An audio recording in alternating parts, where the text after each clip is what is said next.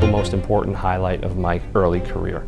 It was an intense two weeks, but it was an unbelievable, worthwhile two weeks. Anyone who has an interest in educating and being part of something bigger, this is the only sort of playground that I've seen that offers that opportunity.